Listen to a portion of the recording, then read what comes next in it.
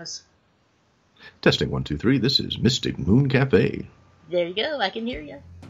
Am I Self- self-modulated? You're self-modulating You're loudly listening to behind the Mystic Moon music. Cafe with Wendy I've- I've been self-modulating Every since my week early we teen years. guests that are experts in various fields of the supernatural, paranormal, unexplained, and esoteric. So sit back and let us take you on a journey to educate, enlighten, and entertain as we broaden your horizons. Now, here's your hosts, Wendy Schindler and Travis Short. And good evening. It's us here at Mystic Moon Cafe again. Hi, Travis. Hey, Wendy, how are you this evening? Oh, just peachy keen. Weather in the storm. Peachy keen. Peachy keen. I don't know if that's How- better or worse than finer than frog hair, but uh, it's a close running I race. li- It is. Both of them have this, you know, this this almost invisible fur, fog hair, and peach fuzz and peachy Keen. that works. I'm, right. I'm okay yeah. with that. I'm Yeah. okay. Yeah. I can. Yeah, I can go that way. So, And- did you weather the storms that you had? Literally. Um, actually, there was a there's one that hit about six o'clock this evening, and uh, it was it was fast moving, came up on us fast. All the dogs were down here in my little my little hovel, and um, and then the thunder was over, and it rained a buttload, which we need here in Kansas City. We've been in a drought for you know like all winter. And, but uh, Mhm. we didn't need it all at once. But it's all it was all good. It blew over real quick, and then the dogs went out to pot hay and all that fun stuff. Uh, Are you there? Yeah, I'm here. Are you there? Oh, uh, yeah. There was a really weird sound. I thought we got disconnected. I've heard it once or twice myself here, and I'm not sure. I'm not sure where that's coming from. Hmm. I'm not sure. Hmm. Interesting. A little bit of a pop noise, but I don't think Yeah. it's Skype. I think it's more of a power thing going on. Okay. Mhm. I was just curious. of course you were. So, how was your day, Travis? Shut up. You didn't stop for food, did you? I told you to stop for food. I did. I stopped for food. I, I broke down this afternoon about 10 minutes till 4 o'clock. And the, the grocery store uh, that's within walking distance of the radio station, they have these great little snack trays that have cubes of turkey, cheese, grapes, and crackers. And I went and grabbed one of those. Mhm. And that was my lunch. But I have been going since 6 o'clock this morning. Oh my, my phone my phone was ringing before six. Uh, it was my morning board operator there at the radio station. There was all kind of networking problems. He and I were troubleshooting for like the first 45 minutes trying to figure it out. That didn't work. So then, of course, by that point, I was already on the road driving. Got there, and uh, it actually was a, an issue with our server. And apparently, sometime overnight, the server and our server security detected some type of threat to our network, and it actually locked all the computers and disconnected the entire network. Which uh, it's great because it was doing its job, exactly what mm-hmm. you know we we invested in this particular program for. The problem was, of course, there was no notification given to anyone, and when we don't have anyone from midnight to 6 a.m., when the morning guy comes in at 5:30 and he's trying to get networked and get into the commercial logs and the music beds and all that, and he can't because none of the commu- none of the com- computers are communicating and none of them are networked. Uh, Mhm. and then not being able to have access to the servers is quite a problem. So it took us till about 10 o'clock this morning. We got everything back up and running, everything networked and communicating, and all the bugs worked out. And when I left this evening, uh, about 5:15, everything was still running smoothly. Mhm. Uh, so yeah, I, I dropped some groceries off to my kids this evening, and then came straight in, and literally had just enough time to kind of uh, take a shower and pour a glass of wine and get the uh, my little studio here set up so we could broadcast. So it's been it's been a it's been a nonstop day. Oh, goody. What fun. What fun. Yes, all kinds of fun. So, what is we we've got? We're, we're not gonna, we're not going to introduce our guest, not yet, um, because we've we've got a little housekeeping and house cleaning and shopkeeping and house shopping. I don't know. We got a bunch of stuff to do. Um, we, right, yeah, okay. yeah, whatever, whatever he's Mhm. saying, he he doesn't know what he's talking about. Um, great great show last weekend. Mhm. Uh, very very fun show uh, with Anna Martin and the Martin Family Legacy. Uh, very interesting woman. Uh, some some very uh, some great stories that she had to tell about the, the just the, the supernatural things that have occurred in her family. You know, I think that's for me that's a very interesting concept is how these things tend to be familial and they tend to be inherited. Mhm. And uh, that's one of the reasons that I like Anna's story. Is it uh, for me? It kind of has this. It resonates with the um, Steven Spielberg uh, miniseries that Sci-Fi did, Taken, which you know kind of showed four generations of like three or four different families and their interaction with, especially UFO phenomena and things like that. So Anna's story for me is a very interesting kind of take because you don't find a lot of people coming forward talking about the family aspect of their abductions and interactions with extraterrestrials and things like that. So I think she's a very interesting kind of kind of guest to have. I'm looking forward to having her back on. Um, and in the coming week, in the coming weeks, the month of April, we've got some really cool shows lined up. Um, trying to pin down next week's guest. Haven't quite done that yet because he's hopping all over the freaking country, and I can't, I can't catch Bill Bean long enough to get him to confirm his appearance next week. But he'll But be on a- if he finds a- out in time. So we, and then um, on the twelfth, I think you've booked the twelfth, or is that one still open? No, the twelfth is uh is Linda Godfrey. Um, with the Yes, yes, um Dogmen. oh, Monsters Among Us is her the newest Yes. book, and yes, Dogman and and real werewolves of or you, golly, there's a whole list of them. She she's written a lot of books. She's very knowledgeable. Her original uh, coming out of the closet there with all of these things was uh, the Beast of Bray Road. That Yes. that's her. That's her shining star, and then she's continued to shine. and uh, very interesting. We, we've had her on. This will probably be like her fourth appearance, if I'm not mistaken. And we had her a couple times last year, Yes. Yep. Two or three times last year. So, uh, looking forward to, to having her back on. The following week, uh, the 19th, uh, we have Nick Redfern coming back on, um, another crypto, uh, uh, a crypto dude. Zoologist. Uh, Mhm. Crypto, yes. Well, you had to go technical. I was just kind of. Neener, neener, crypto dude. Usually it's you. I know, I know, but I, I'm this particular program is I'm flying by the seat of my pants. I really am. I am like a a, a dry well uh, Mhm. that is being pumped for air, basically, on this particular program tonight.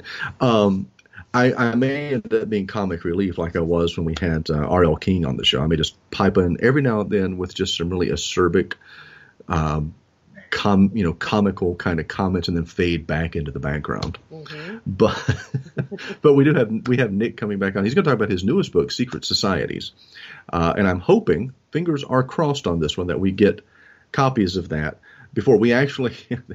I reached out to I, I reached out to his publicist a couple of weeks ago and requested copies of his newest book Mhm. to be sent for review and for the show. She sent me copies of his most recent book, not the newest book, the most recent one being 365 Days of UFO Encounters, which we already have. Oh. Um, mhm. So I've had to reach back out to try to get uh, get new ones sent. Um, Okay. Good. And then we're we're trying to get Cami Anderson and Richard Estep back on to talk about the haunting at Asylum 49 uh, sometime there in the month of April. And uh, we're trying to get Andrea Perron back on the show. Uh, be oh, was going to be fascinating to hear what's going on with her, her trilogy of books. I know that she was recently uh, in LA because she actually uh, bumped into Susan Bell just totally out of the blue at a film convention. Uh, and Andrea Andrea was there shopping uh, House of Darkness, House of Light trilogy uh, to some uh, finance companies and, and backers trying to get the uh, the green light to turn those into a trilogy of movies. And she literally, uh, according to Susan Bell, they just literally backed into one another while handshaking and and schmoozing, and it just became it became this great kind of family reunion for the two of them. So. We're working on on that particular uh, guest and and several others that we're going to try to have back on. Uh, kind of reach back into last year to some of our guests and try to bring them back on. Uh, the co-authors of the Aztec UFO crash want to have them back on. Uh, want to try to get Nick and Linda both on simultaneously to talk cryptids, um, and I think that would be a very interesting type of roundtable discussion. Uh, I could talk Mothman. Uh, Linda can talk Dogman, and uh, Nick can talk about uh, you know his his fascination with Loch Ness monster and Bigfoot and, and the other cryptids and and the chupacabra, uh, which he's done quite a bit of research in. So I think that could be an, a very interesting kind of uh, cryptid roundtable. Well, this could. Uh, our, uh, our guest tonight is he's he writes urban fantasy, but Mhm. he is starting a new miniseries, I guess, um, about uh, Mason Dixon, uh, Monster Hunter, Oh, and it I like deals it. with it deals with uh, the cryptoid crypto cryptozoology critters I in like it. Missouri. Yeah, so Okay. you know you guys may be able to talk a bit about that as well. Yeah, that'll be that'll be great. Hopefully so. Yes. Yeah. So we've got you know lots of great shows, uh, and Yes. and continue continuing to um, expand that base, uh, getting more and more uh, authors on, uh, more and more guests, uh, and and you and I have talked about actually dabbling and creating another show that is more, uh, what would how would you say uh, Politically pop- slanted. politically slanted pop culture trending you know things Mhm, that are trending uh, current current trends and things like that. So we're toying with that idea because you know i'm bored and i don't have any you know i've got all this spare time on my hands that i uh, need to fill it so that i'm not getting myself into trouble because next week we actually the am station uh, in there in Prestonsburg actually is going live with our local talk show. So next Wednesday is actually going to be a very interesting day. Mhm. Um, I've got my talk show premiering that morning. I've got a three-hour career day. I've got all my regular duties as director of operations, and then I come in and we do the two-hour show Wednesday night. So that's going to be a fun day. Woohoo! Yes. Woo-hoo. Yeah, I know it's great. Awesome. uh, Well, and we don't want to leave out our um, sister channels. Uh, yes, shows. I was gonna. Yes, we've, Oh, were you? got. well, uh, please go right ahead. no, no, I was going to say I wanted to make sure that we did talk about them. Um, I'll, I'll talk about David, and you talk about Carly. Okay. um, David Haslam, uh, HMSI Publishing, uh, has has come under the the Mystic Moon umbrella. He is hosting a show on Thursdays. Uh, you'll have to give me the time again because I because he's you you and he share the same time zone, right? no, no, he's No. he's in your time zone. He's in East. I thought he was Central. Okay, so he's No. East Coast. Okay, he's It's- Eastern time zone. Michigan is tricky. It's a split state. Yeah. I think. That's right. That's right. It's kind of like, uh, you know, Arizona, Phoenix, Arizona. They don't observe daylight savings time, so Okay. Yeah, it's it's it always screwed me up whenever I was booking my client Jody Ambrose, who is my sexpert there in Phoenix. Uh, because when I would start talking time zones and I would try to start doing the math, I would always try to calculate her in um, in mountain time zone. She's like, no, she goes, we're not mountain, we're not central. She goes, we don't really observe daylight savings. We have kind of Phoenix kind of has its own little time thing. It never, it doesn't change. It stays the same time year round. I'm like, you're killing me, Jody. Yeah, no doubt. So, but um, but David has come on. He has uh, a program, Square One. Am I? Is that is that Or, correct? or? SQ one. I'm not sure. SQ One. Yeah, Mhm. Possibly. and he's yeah SQ One Square One hmm Squan. I don't know. I don't know exactly. I, I don't haven't either. asked. I haven't asked him how to pronounce it.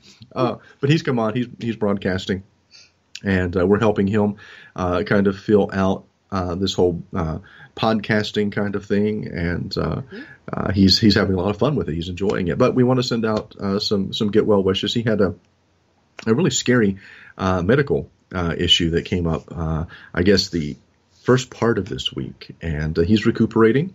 So we send our best to David and his family there in Michigan, and, and wish him a very speedy recovery. And then one of the first to come under the umbrella was was your acquaintance. Yes, Carly McCracken with Crimson Cloak Publishing. That's her company, and I believe Lynn Nothing is is a partner there now. And she's on on Tuesdays.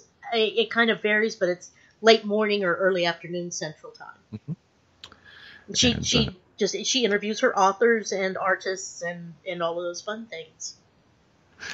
Yeah, and actually, uh, she and I were uh, talking back and forth last night, and I think she's going to have me come on her show to talk about uh, publicity and promotion for self-published authors and authors who are using independent publishing houses like hers. So, Very good. Very good. yeah. I think that'll be that'll be very interesting. hmm So, um, But uh, so that's kind of what's going on in our world here at Mystic Moon Cafe. We've got a great guest tonight, which we will come back and, and introduce. Uh, I think you have a song though. Now, are we are we continuing the theme uh, with the or the same? Uh, Well, of course Artist? we are. Um, course. well, no. um, tonight it is. We'll start with uh, the Rigs walking on water. okay, It's kind of a wooey song, and you know, Vesik is a necromancer, so there you are, right?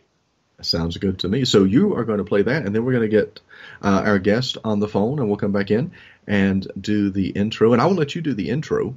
Uh, since you are since you are the number one fan, Okie dokie. because you can you can read it with more more pizzazz maybe than oh, I could. well, s- sure, that's it. I'll That's know it. what the hell I'm talking about. Is what you're saying? I'm just probably going to be drinking wine while you're reading the intro, so that's all you I'm saying. take it easy And if you haven't eaten except once I, I, today. did- I, I, that's true. That's true. I will. I'm going to be very. very I'm going to behave myself. I promise. Behave, or I'm calling your mom. Please don't. All right, the rigs walking on the water.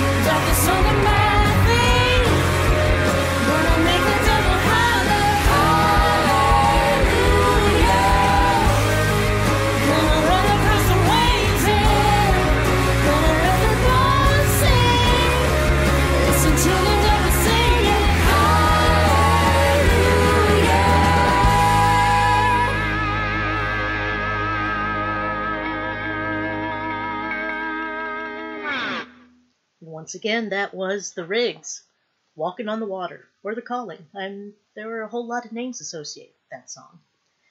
Alrighty, tonight we have Eric R. Asher with us. Um, Eric is a former bookseller, cellist, and comic seller, seller currently living in the St. Louis, Missouri area.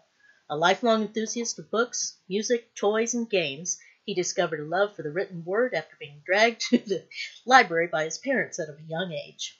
When he was not writing, you can usually find him reading, gaming, or buried beneath a small avalanche of Transformers. Um, he's written the series, the Vesik series, um, which uh, about a necromancer, and uh, golly, all kinds of different creatures, critters, people of le- legend and myth. Um, also written the Steamborn trilogy, a steampunk uh, themed anthology, and new coming out soon, I believe next month, is the Mason Dixon Monster Hunter. And let me grab the right mouse here and bring these guys on. Hello, Eric. Hello. Hello.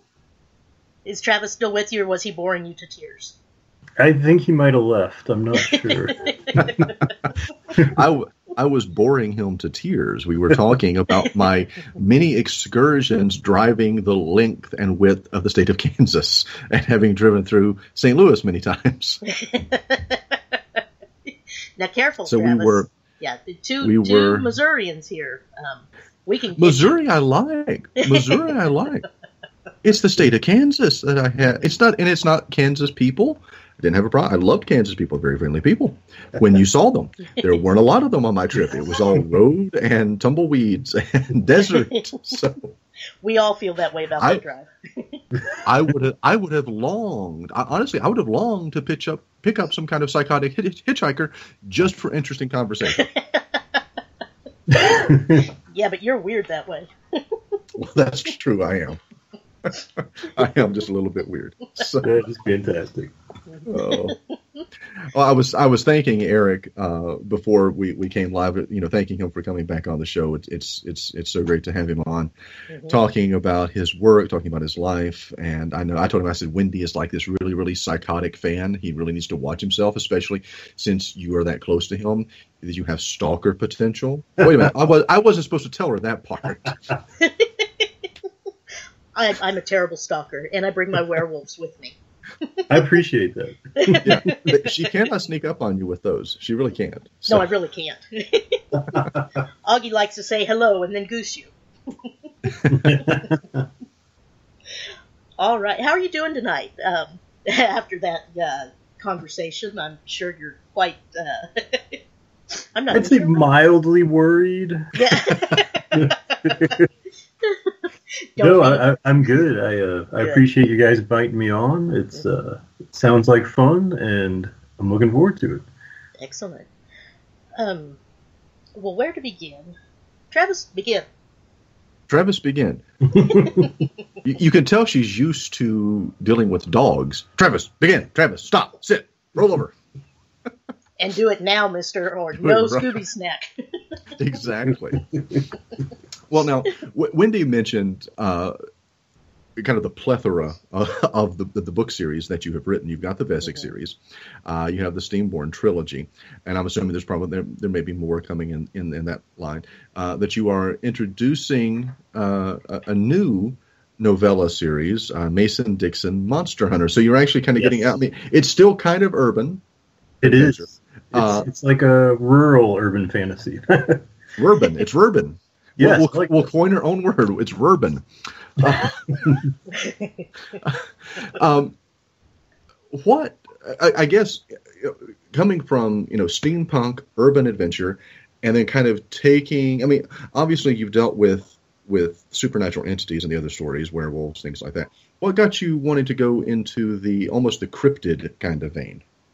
Uh, it is very much the cryptid kind of vein, and uh, it's it's one of those things where a lot of the research for my Vesik series gets me digging into a lot of folklore and monsters that are inside of the Missouri area, but I'm also learning a lot of, about folklore monsters that don't really fit into a urban urban fantasy too well. Mhm. Yeah, urban urban fantasy. That's Mhm. That, that's good. Let's not use that again. But uh, but it's just it, it turned up a lot of things, and then I started doing more research on cryptids, and I was really interested in them, and they were a lot of fun to read about. And I didn't really think about doing anything with them. Uh, and then at Dragon Con last year, I was talking to John Hartness, who is the owner of Falstaff Books, and he asked me if I'd be interested in participating in this project that is set in his Bubba the Bubba the Monster Hunter world, Okay. except kind of like having another monster hunter in a different part of the country, i.e., Missouri, eh, that would be participating in that same world. And I had to think about it for about two seconds and said yes, and we'll see if I regret that. Sounds good. So you you've introduced this this new character Mason Dixon, which I love the name by the way. Is is is he is he based on any one particular individual, uh, or is he kind of this uh, composite of of cryptozoologists and monster hunters? he is honestly a composite of a lot of Missouri hunters that I've known, um, and just I really en- enjoy like sarcastic people, and I really enjoy people that love animals, Mhm. and he's kind of mashed up into all of that, and it's uh, I. I kind of like to spin it as a mashup of Fantastic Beasts and Grimm, all kind of pushed up in Okay. a big Nice. straight ball. Mhm. That's very cool. Now, I, I want to read ki- kind of the excerpt that, that Wendy has taken from your, your official uh, information. And th- this is how you kind of describe this new series. Uh, something waits in the rural hills of Missouri, terrorizing a small town and leaving a path of destruction. The secrecy of the endangered cryptid population is threatened, capturing the attentions of reality show host Mason Dixon, cryptid hunter and conservationist. When the beasts of folklore stray too close to humanity, Mason has no choice but to track them down, while he does all he can to protect the cryptids. Mason knows sometimes it's humanity that needs protecting. So, I'm familiar with a lot of, of cryptids, uh, Mothman, Dogman, Sasquatch, uh, those types of things. What Yeah. is the what is the um, uh, kind of the, the state cryptid for Missouri? What what what does what does Missouri have that is going to kind of be the the tentpole cryptid for this series of novellas? Uh, not necessarily the tent pole for this series. Well, kind of, yeah. Actually, it does appear in there. Uh, but kind of the most uh, well-known cryptid from Missouri is probably Momo, which is short for the Missouri Monster. I he's um, very Sasquatch-like, but his story's a little bit darker, a little bit more kills family pets ish. Okay. Which is awful. And I'm not necessarily just using him completely in the tradition of the folk tales, but yeah, he, he definitely makes an appearance. But uh, th- there's a lot of more obscure uh, folklore monsters and cryptids that I really enjoy. There's one with this. You when you start digging down, there's a lot of really weird names, and one of my favorites is this huge thing called a hinge-tailed bingbuffer, and it's just like the corniest name mm-hmm. and then you find out it can like hurl bowling ball sized stones at like Mach speed, and then, then it's like, oh, well, it's kind of terrifying too. A little bit, yeah. yeah, so it's it's gonna be fun. Now, is the first one written and at the at you know the editors and going through that process, or It is indeed, and actually the second one. Uh, this is a novella series, so each one's gonna be uh, in like the thirty to thirty-five thousand word range. Mhm. which is about a third of the length of a full length book.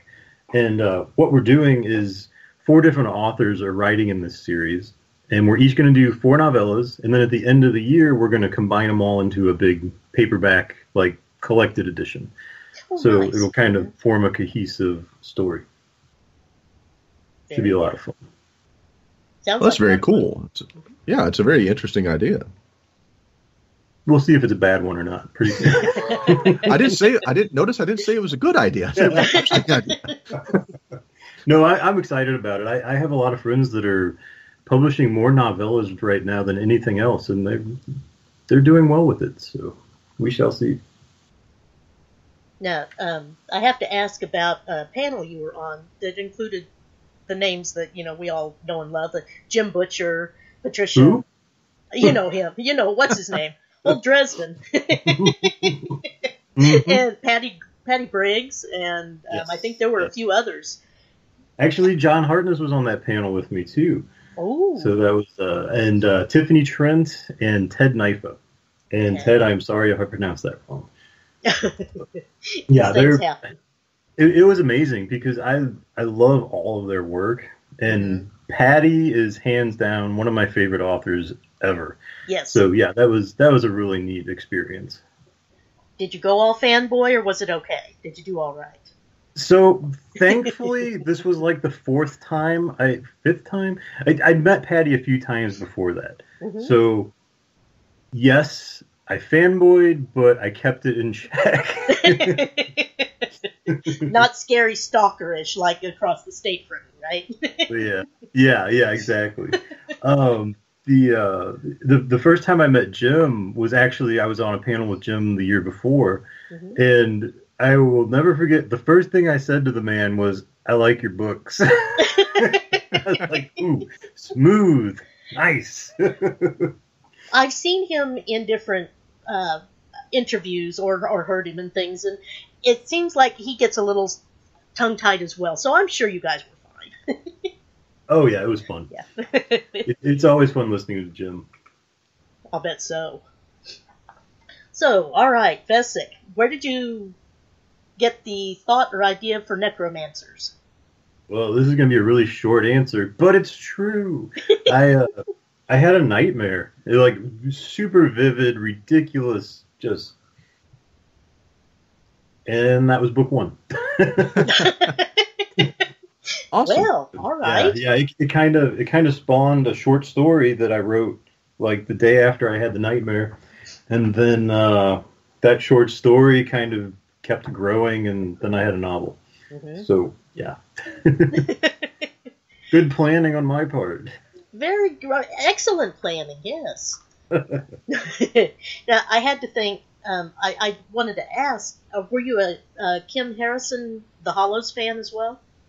Yeah, absolutely. hmm Now, are are the fairies in any way related to Jenks? Because I keep expecting them to holler out something like Jenks' little red bikini or whatever. You know, Jenks was always. yeah, yeah. No, no, they're they're really not. So Mhm. Jinx, uh, Jenks couldn't get big. right, right. Except Right. for that one time that he did when they used But the that was a whole on it, spell thing, right? Yeah. which is hilarious. yes, it was. But, uh, and that may have influenced the fact that I have my fairies get big and small, and I, I don't know. I hadn't really thought that deeply into it, but that's an interesting thought. Um, because you know we really are influenced by all the books we read. oh, absolutely, yeah. And uh but yeah you know f- fairies in in the hollows were like they're just evil you know they're now Jenks and the pixies and everybody they're fine but right, man right, yeah. What's his Uh, name? Trent. Was it Trent? No, he was an elf. He was an elf. yeah yeah still Well- yep, yep. yeah Let me see. But yeah i love i love foster foster's just oh, he's foster's a lot of fun to write I'll bet so. With a great sense of, sense of justice. That I like that about your series, where you're they're not into all the self recrimination for standing up for themselves or somebody else, and oh, I killed somebody. Oh no, I'm terrible. He's like, screw it. You did this. You're going down, Mister. And you know, I, I get some interesting feedback about that. Some people are like, "Oh, well, all your characters are sociopaths." I'm like, "Well, thank you." Uh, All my good friends But- are too. So there. Yes, that's true. it's, it's like the same reason I had Nixie and Undine become Damian's girlfriend. Spoiler if no one's read book two yet. Um, and it's like these characters that have grown up and have these powers, and they so far outside of normal things that we know. It's like they're not really going to have a normal view on death and killing. I mean, it's going to be it's going to be different from them. They're going to respond differently to it. Right, right. And It's more justice than letting it happen to you. I guess I don't know. Right. Uh, where did you find Cu Siths? And would you tell us what they are a little bit and, and how they come into the story? So Cu Siths, um, I came across when I was researching uh, a lot of Celtic mythology. hmm Wait, did I get that wrong? Hold on, let me check my book.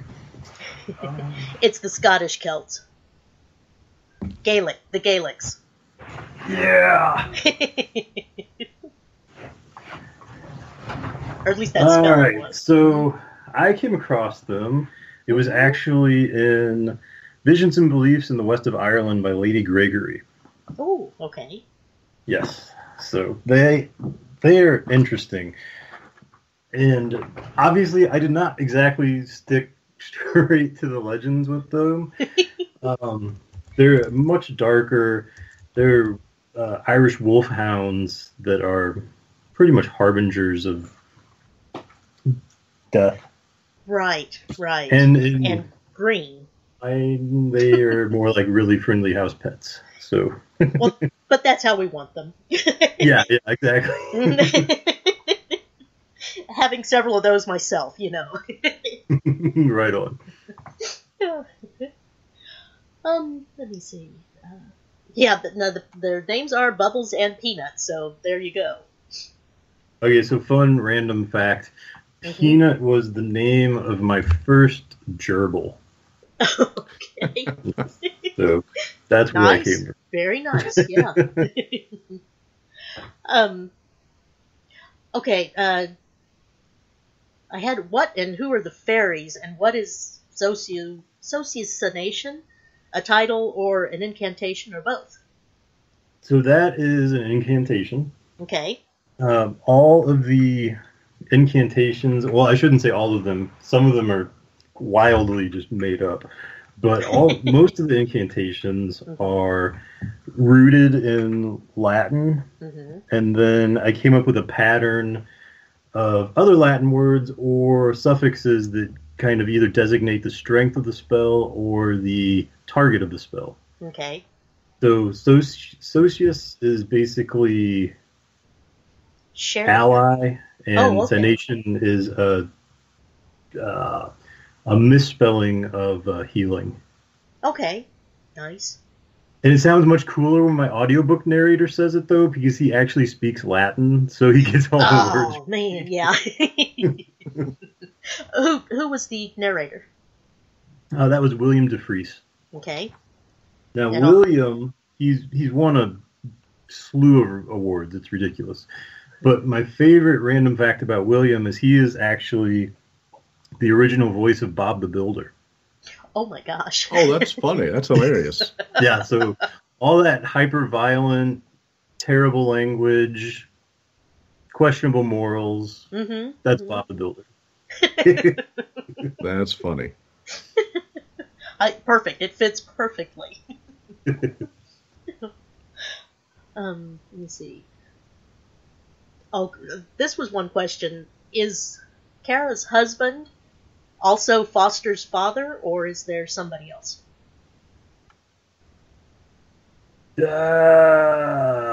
Or is that a spoiler? If it's a spoiler, you don't have to tell me. yeah, I don't think I can approach that one without some fairly hefty spoilers. well, I, you know, yeah, I, I had to tap dance around a lot of my questions so as not to give spoilers, but everybody needs to read it. I'm, I'm trying to invite questions and interest. She, she's enticing them. She Yes. she's the Pied Piper. She is she she she's the creepy person driving around the van in the bookmobile trying to get people to come in and read. That's awesome. That is, that is a that is a healthy activity. I I think so. I think so. Now, I, I'm sorry, Wendy. I just I told you what I, was going to know. be tonight. I'm, I'm I I am like brain dead. this this day this, this is I'm working on this is 15 and a half hours. I'm going on 16 hours of straight work. Mm-hmm. So this Whoa. is this is the kind of day that it's been. That's too much Now- work. I know that's what I keep saying, but nobody listens to me. Well, well, Uh, I don't even I don't even listen to myself. Oh, shut up. Uh, I'm No. telling Ma Walton. yeah. You don't know exactly how, how close to being right you are when you say that. oh, all right, sorry. Travis I is from Virginia, but I got it mixed up with West Virginia in the beginning, so I figured he came from Walton's Mountain, right? Yeah, exactly. Well, Walton's Mountain is in Virginia. Yes, Mm-hmm. it was said in. yes, I know. And actually, drive by that mountain uh, on many occasions. Driving to Richmond and Charlottesville, Virginia, you actually drive by the mountain that that was based on. Oh, neat. Been by it many Okay. times. Yeah, been by it many times. So, um, now in, in the series, the, the the main protagonist is is called a necromancer. Now, how do you how do you define necromancer? Uh, so Damian's a little odd as you get past the first couple books. He's he doesn't really adhere strictly to the uh, traditional necromancer, which oh, I'm totally not answering your question. I'll get back to your question, but Well, thank you for acknowledging that you weren't. So, so so a, a lot of I, I I got a lot of interesting messages after the first book because people were like, "Well, he's not really a necromancer; he's more of a wizard." And I was like, "Yeah, maybe there's a reason for that." Mm-hmm. And they're like, "No, I'm pretty sure you're just a terrible writer." I was like, "Well, thank you." Wow. but but as we come to find out fairly quickly, Damian comes from a lineage that gives him a lot of powers that maybe a normal necromancer would not have or would not have access to or the ability to access them which you kind of get hints of it in the first couple books and then it really opens up in the later books Mhm. which is all i'm going to say about that because spoilers and uh, but to get back to the original question uh, necromancer in my view would be someone that uses inherently black magic to either reanimate the dead or communicate with the dead Mhm. okay, okay. Uh, would that then would the the motivation or the purpose for that vary based on the type of necromancer? I mean, are there good necromancers, bad necromancers? in in my world there are a lot of times necromancers are always the bad guy which i think might be why i wanted to do some necromancer type characters that weren't the bad guy Okay. Uh, it's or a it's a the fun line, twist maybe. yeah yeah Mhm. yeah there's definitely a few things that happen that they're walking the line or going over it gratuitously And, but hopefully, you know, reining it back in well enough. right right Zola is a is a conundrum there, like that. i love zola I do she's too. one of my favorites I figure she's a she's kind of like Minerva from Midnight in the Garden of Good and Evil, yeah. and and her hairstyle with the uh, Magrisnetto is that how you say that? Hmm yes With that in her hair would be a lot like Elizabeth Taylor in Cleopatra. i have to google that now. Oh, okay. I watched it. It it was on Turner Classic Movies yesterday, and I went, "Hey, you know what? uh huh." Ah. Okay. The the Fey Deadbolt lock. Is there a story behind that, or are we ever going to hear it? I'm or- so impressed with that question. Uh, yes, there's definitely a story associated with that. Okay. and that's all I'm going to get. ah, pretty much.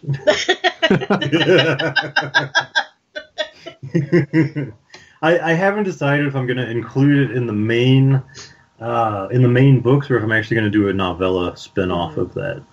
Um, there's actually several novellas that I'd like to do that give you more background on the characters that Damian himself doesn't necessarily know.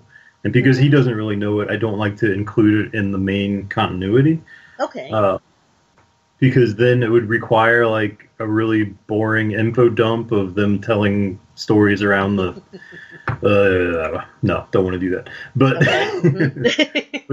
but yeah, I, I'd really like to do some spin offs that really get into some of the side characters more. sure, sure. Uh, there are so many characters. My goodness.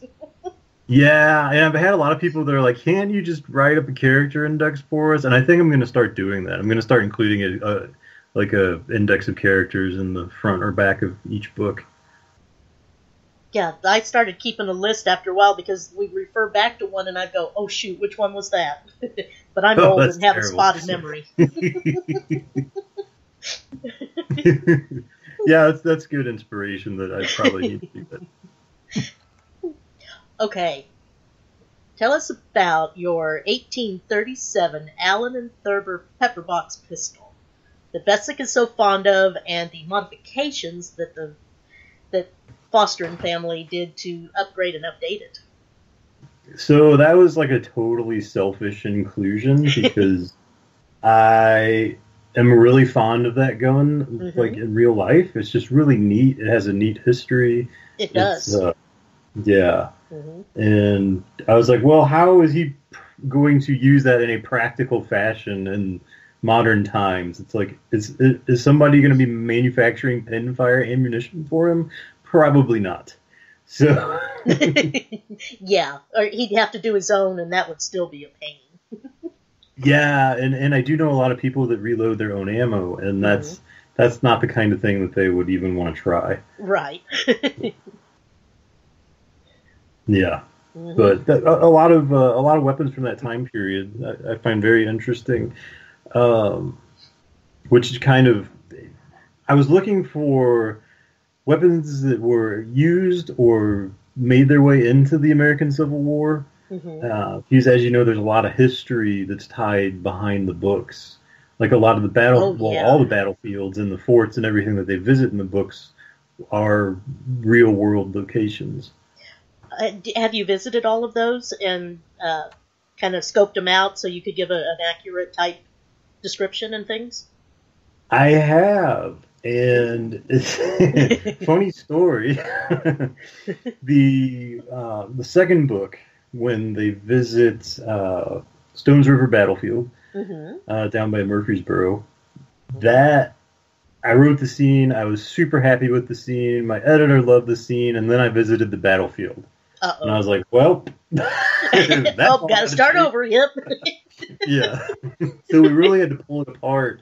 So uh, you can. I, I really like the idea that you can go to this place and you can retrace this character's steps, and it, Mhm. it's feasible. So Right. that that definitely took some reworking because the way the way I originally wrote it, just like using a Google Maps overhead view, it was like, oh, well, that five minute trek actually probably would have taken an hour and forty five minutes. That's The way yeah, I walk, yeah. Mhm. and definitely not accessible by vehicle or at least not a car. Definitely not a car. You could theoretically drive a car up in there, but Mhm. they wouldn't be very happy with you. right. The park rangers kind of frown on that sort of thing. Quite often, yep, yep. They ask you to leave and stuff. And yes, yes. Yeah, it, it's it's hard to decide. When I visit those places, there's oftentimes a lot of uh, a lot of museums and old houses and stuff around the battlefields, and it's mm-hmm. it, it can be hard to decide what's going to get used and what's not, and it's it's what's too much and what's not enough. And yeah, I- I exactly. Because if you, you you add in too many of those little details, you can really bog down the story. you really want to find that balance. But for those of us that do get pretty far, and you know, immersed in it, it just kind of it, it becomes a, a imagination visual for us. It, it's kind of cool too. Thank you. No, sure. um, ah, okay. Uh, without giving away too much of the story, um, would you tell us about Gwyn ap Nudd? Is that how you say his last name? Uh, and his plots. Depending Um, on who reads it. Yeah. Okay. I, I don't get too bent out of shape about things when people are like, that's not how I pronounce it. I was like, "No, that's Okay. Well, I didn't know if it was nude or nud, but you keep talking about his balls, It's- so I figured I'd ask. that's Foster. That is not me. Uh-huh. uh-huh. um, yeah, so he's he's an interesting. Uh, in, in a lot of the old tales, he is like a Lord of the Dead. Mhm, So I thought he would be a perfect complement to the stories. mhm. Um, Yeah, so there's a little bit of bending of the stories, kind of turning him into a a king of the Fae. mhm. Um, but there is a lot of uh, him and Herne both. There's a lot there that I pulled out of the old fairy tales and uh, folk tales that I, I tried to reuse with their characters. Oh, sure, like the Wild Hunt, and uh, how much how much of a threat is Herne to him to Right. win? Mhm. Exactly. Yeah. All interesting questions that you have to read the books to find out. Yes, because they're fascinating Yes, and totally unbiased. well, I've always enjoyed all the old mythologies and, and things anyway, so I, I really enjoyed this the line we go with here. Well, speaking of mythology-driven stories, have you read uh, Iron Druid? by oh Kevin gosh, Hearne? yes. Oh yeah. Ah, Yeah, that's Mhm. so well done. I, I I, have to agree. Yeah. So I, I read that and I was like, why didn't I think of making the dogs talk? That's brilliant. well, you still could. Ah, no. Well, Oh, but Lord. wait, wait. The dogs Even already I- talk because they're werewolves. Well, okay, those dogs technically Yeah, talk. yeah. Okay, I'll give you that. I think of the Cu Siths though. It's like that. That'd be a little. That'd be a little hard to make up. Well, somehow mind to mind. Maybe maybe Sam can come up with something. Well, now that that brings up an interesting topic, Eric. What do you read for your own pleasure? Uh, Patricia Briggs. Mercy Thompson and the uh, Alpha and and Omega series. Literally everything by Patricia Briggs. Uh huh. Yep. Oh, Raven me too. Shadow, Raven Strike, Masks, ever, whatever it is, I will Mhm. read it Mhm. because I love it. Um, one of my one of my favorite books, one of my favorite dragon books of Mhm. late. Uh, I would just just thought of the dragon books because I thought of Dragon Bones and Dragon's Blood by uh, Patricia Briggs. But one of the other urban fantasy authors that we all know and love is uh, Carrie Vaughn. And she just released the sequel to Voices of Dragons Oh, and the new one is called Refuge of Dragons. Go I actually it. hadn't heard of her. Go. You. Does that mean you have not read the Kitty series? I have not read the Kitty series. So Kitty is about a werewolf named Kitty. Oh my gosh. It's phenomenal. The first book is called Kitty in the Midnight Hour. I think that's the first book. I have a terrible memory about these things sometimes. So confirm that before you buy it, but Okay, go buy it. It's amazing. But if you like dragon stories, you have to Mhm. pick up her Voices of Dragons and her uh, Refuge of Dragons Well, yeah. because you know, they're phenomenal. sure. I've liked the dragon story since way back in Anne McCaffrey's early days. Oh yes, yes. um, Yes. Carrie, uh, I, I've only met Carrie once, but when I met her, again playing it really cool, totally not a fanboy. I was basically just like, "Do you know how good Voices of Dragons is? Like, this is one of my favorite books. I mean, it's just so good." Excellent. but yeah, so a couple years later, she has the sequel out. I am very happy. I'm writing these down. My memory goes kaput as well quite often. Just ask Travis. I'm sorry. Who are you? Where am I? Glad we're all in the same boat. Where am I? Yeah, I always I always feel bad when somebody asks me something about the books, and I'm like, Mhm. ah. Uh, You- wait you a remember minute. more Wait a minute. I I gotta do. look that up. Yeah. I have I have uh, there's a there's a company out there, uh, Carol Malcolm runs it, and it's called Novel Guidance for Authors. And she she writes these. She'll actually take your book and make a huge series bible out of it. So you've got your character references, you've got your chapter references, all your subplots organized, and it's such a lifesaver. That's awesome. like after you get so many books in a series, it's like, uh, what was that guy's name? right. Right. Yeah. Oh, that was. Oh no, that was a, that was that other series. Wait. Yeah, yeah. Too funny. any other any other fun ones you like?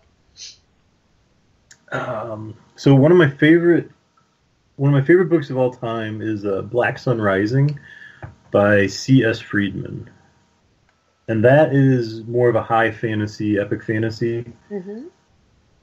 book. But the trilogy is amazing. It's called the Coldfire trilogy. It is one of the best. I think I've got that on my Kindle waiting to be read, along with you know a couple hundred others. Oh yeah, you, you definitely need to read that one.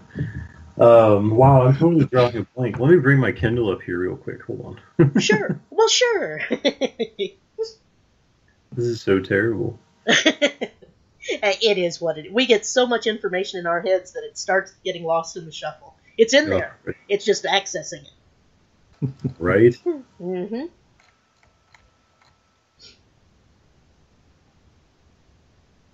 I actually read a lot of nonfiction too, just for research, but hmm that's not as exciting. Well, Travis makes me read a lot of the nonfiction things about the UFOs and and Mothman. This is true? Yes, yes, it is. oh, Yes, it is. I do. Mhm. I just wow. I I'm looking at these books and I'm like, how did I forget that? Um, Ta- like anything by Tad Williams, I love him. okay. Uh, Victoria Schwab,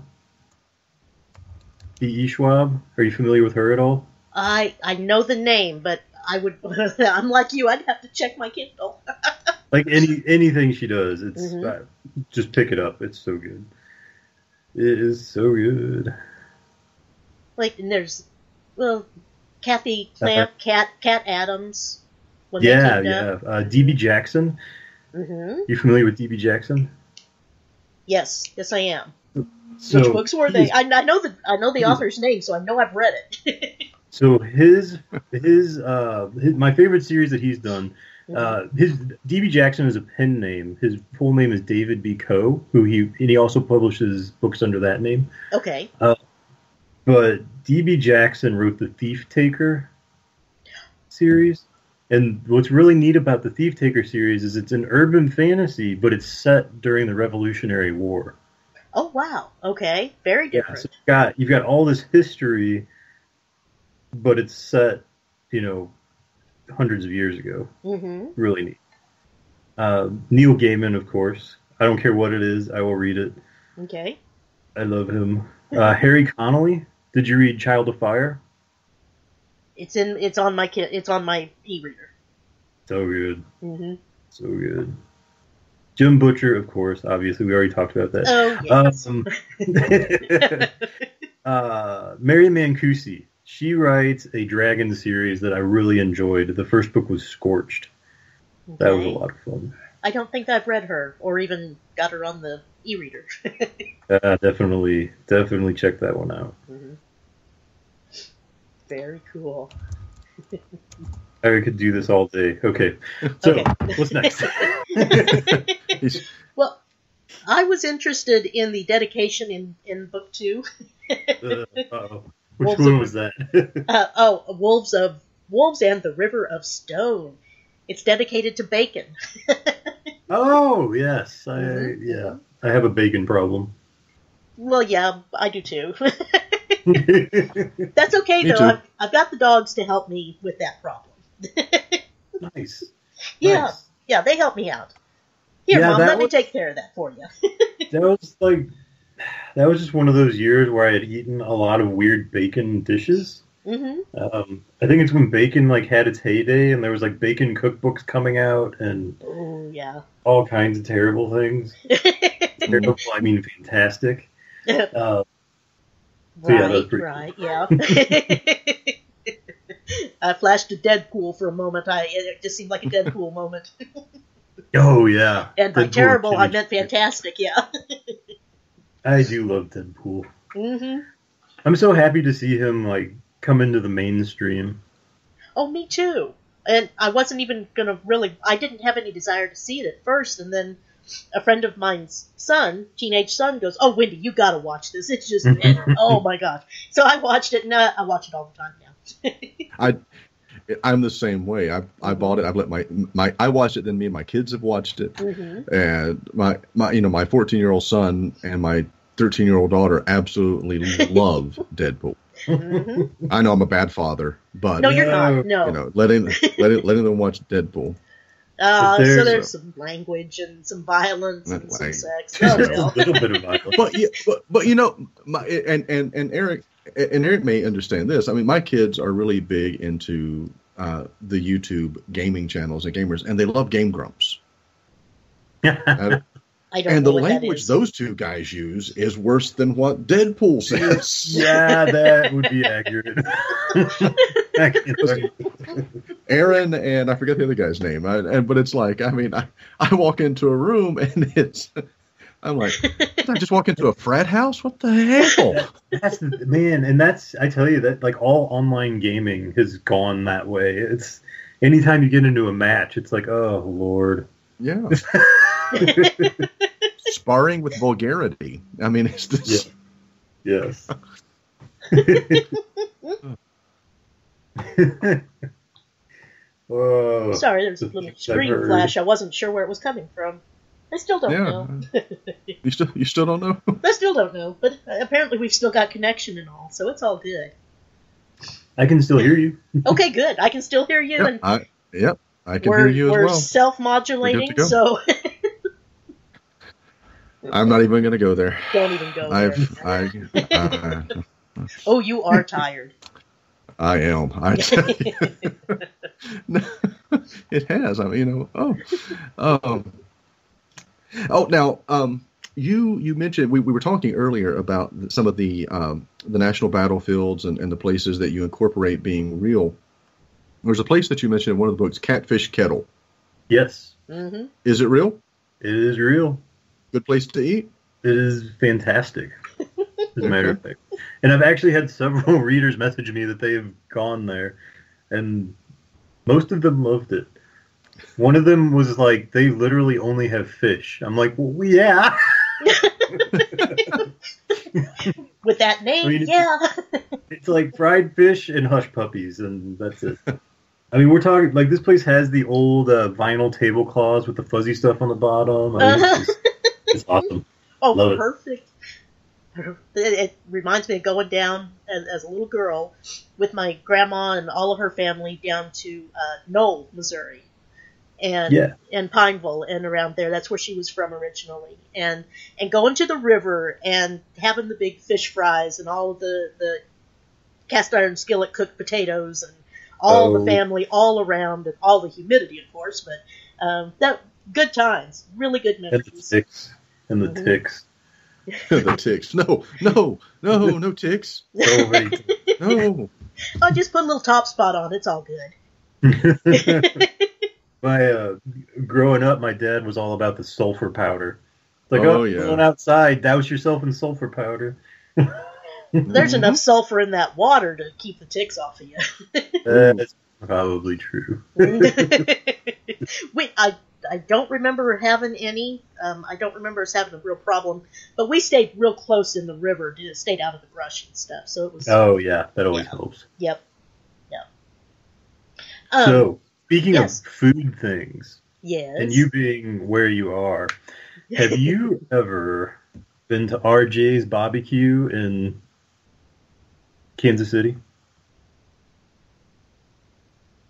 I have not been to RJ's. It's in Northtown, isn't it? You should go to RJ's. It's so good, and they misspell it. They actually spell it Bob BQ, Bobby. and it's so good. uh-huh, uh-huh. Well, you know, um, good old uh, Arthur Bryant, he might have had a little objection, but uh, hey, I think he's dead now, so it really doesn't matter, does it? It Ooh, probably it doesn't. could. Vesik could come over and, and uh, feed him some energy. That's like a really bad thing to do. we could we could have a cook off with the dead people. Oh. Lord, Oh I my could do goodness. Yeah. um, okay. Um, in in St. Charles, old downtown, is there a, a shop like the Double D? Death There Store? is. There Yeah. is. I mean, it's not like the the building is there. okay. You know the the shop's different all the time. Your stuff goes in there, it closes, it reopens. yeah, it- yeah. you know, As, it's as all happens the- in those old squares. Yeah, and the the fudge shop is not called that, but there is a fudge shop there. Um, Did you read my notes? Oh, were, were you going to ask about? I, I'm sorry, I didn't. no, that's okay. No, that's funny. I just I well, What's he, the he next brought he got that right off that same line. Yeah. But yeah, yeah, it's all it's all um, it is all there. hmm It is all there. Now, No, one it- thing, uh, Mhm. one thing from book two that isn't exactly as it's done in the book was uh, the bridge where they bury Lewis Hood. That's Mhm. a little bit further away than I realized. I kind of wrote that scene, and then I was like, uh, "Do I really want to fix that?" Uh, kind artistic of let it be. license there, right? But yeah, but it actually worked out okay because there used to be a bridge there that they demolished. So it's Mhm. like, oh well, that must be from before that bridge was torn down. So it was fine. I'm, I'm telling you all my dark secrets Perfect. now. Good lord. oh, that's what it is. We, we've got more. I'm sorry, I was I was checking the radar because we had some uh, some pop ups about an hour and a half or so. Well, actually, it was actually closer to six o'clock, and uh, Oh, it do was you have a nasty tornadoes storm. Um, we're under tornado watch, but we're getting a little. The red's kind of moving this direction a little bit.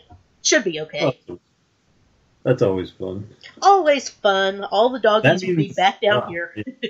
That means we're probably going to get a hit here in a few hours. And there's one no- closer to you than me. Yeah. Yep. Awesome. It's a big old cell.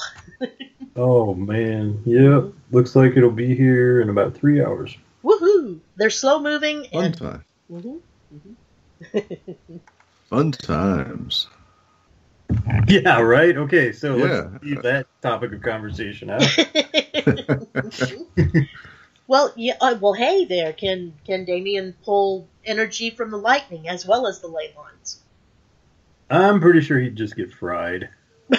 Probably. He'd knock himself out for a couple hours.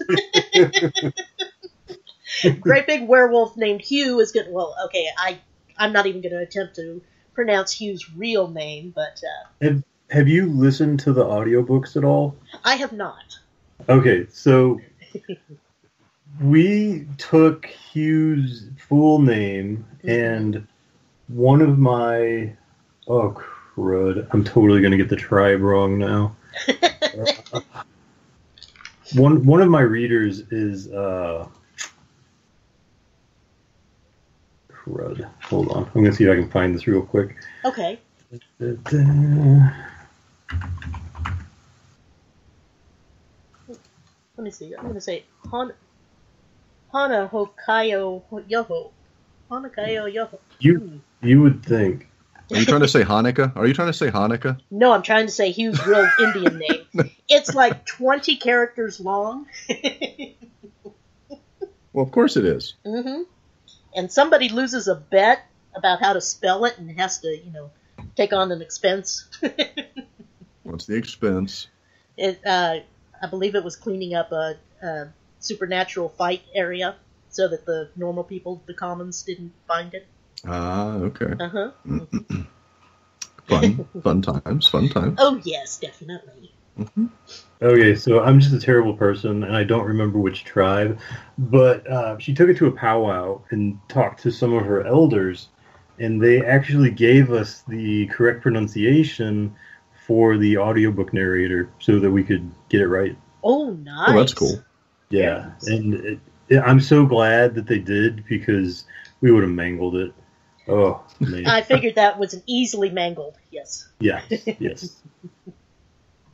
Um, But yeah, that that name, uh, that is actually from the Legend of the High-backed Wolf. That is a uh, old Native American story, which was I thought was pretty cool. do you know it? Would you like to tell us? No, no, I'm not going to ruin that. uh, but if you Google, uh, hold on, let me make sure I tell you the right thing. Okay. I believe it's a Cheyenne legend. Uh,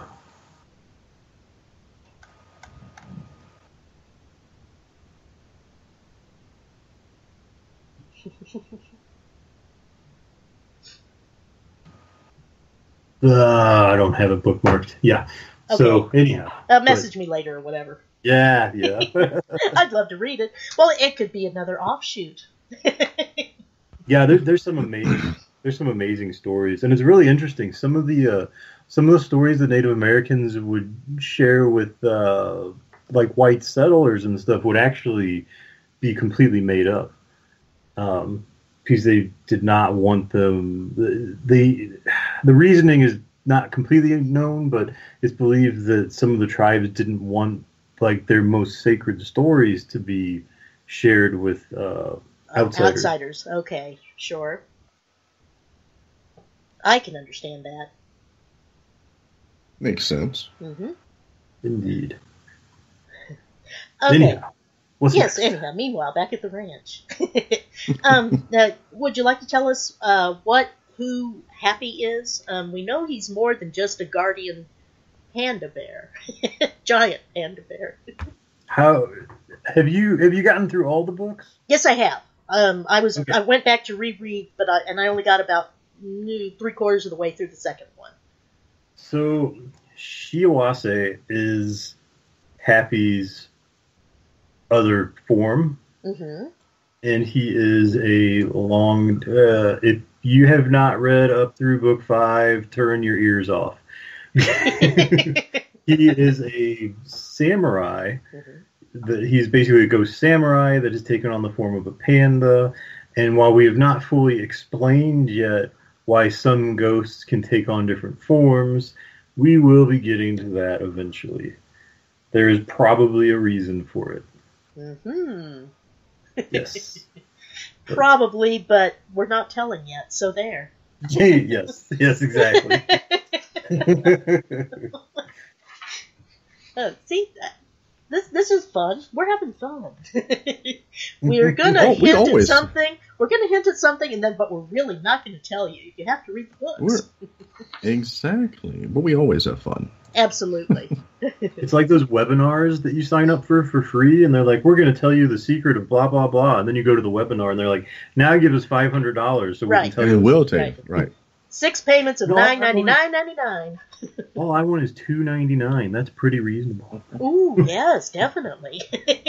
Oh wait, actually, the box set's on sale for ninety nine cents right now. So hey, yes, it is. And is the uh, if you sign up for the email or your newsletter um, deal still going as well? it is. So you can get. uh Oh, I don't remember which one's still going. So I don't want to say that. But yes, there's something where you get free stories if you sign up. Mhm. but hey, we're not going to tell you how or where. Uh, if Oh. you go to if you go to my website, there is a sign up screen. hmm Just uh, ericrasher.com. So I, I have a question for you. Uh, I've worked with a lot of a lot of authors, and one of the things that always fascinates me, Eric, is is what type of mental state they get in when they when they're writing their their stories. So for you, where do you go mentally to start writing about Vesik? Mm, that's a good question. I don't and know. He's, he's not going to answer.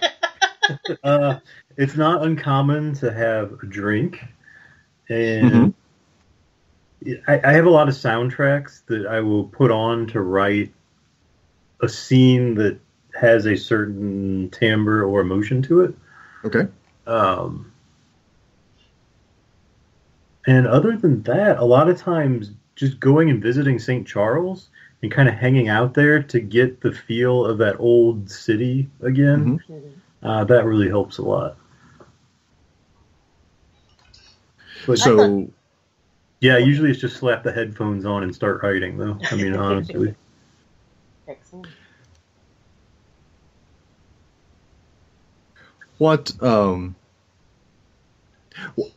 I, I guess I, I've used this. I've kind of told this story several times. My both my children are, are very artistic. Of course, every parent says that, but you know, my, my son my son leans more towards uh, visual art. So he's much more into drawing. He creates his own comic strips. He and his friends create their own uh, comic that they're constantly adding to every day. They're adding characters, adding plots, adding stories Oh, cool. built, building it together as they go.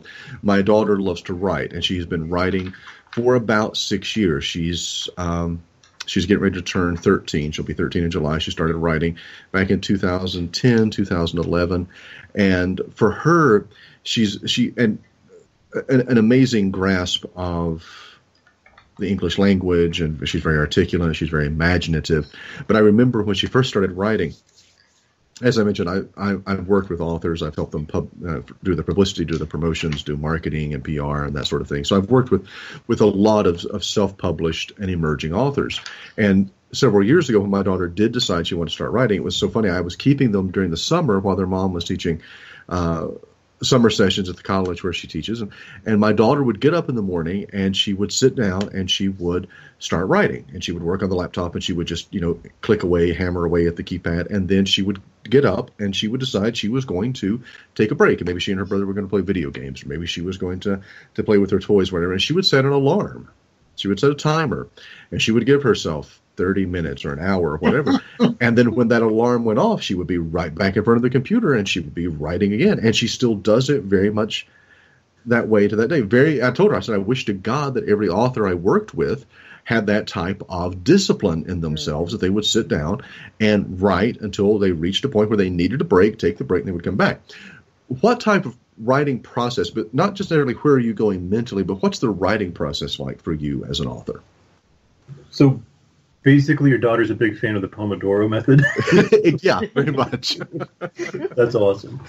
Um, you know, I've tried sprints before, and sprints work well for me if I don't have a lot of time. So Mhm. if it's like I'm going to have an hour and a half in the morning, and then my day job's going to completely annihilate the rest of my day, that works really well. Um, but my ideal scenario is to write first thing in the morning and just keep at it for mm, two to three hours. And my, my word count really increases if I can write in that kind of block because I think my brain just kind of engages with the story more. And uh, that third hour, I'll usually knock out, you know, 2,000 to 2,500 words.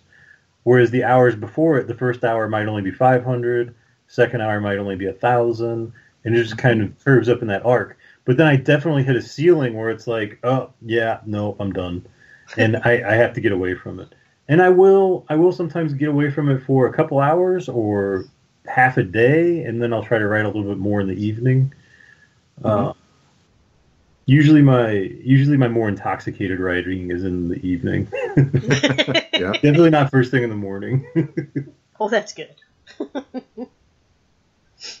uh, congratulations on Rattle the Bones, the sixth sixth book in the series, uh, being up for the Once Upon a Book convention. Up, up, up for two awards, right? yes, Excuse me. yes, that, that was I was very happy about that.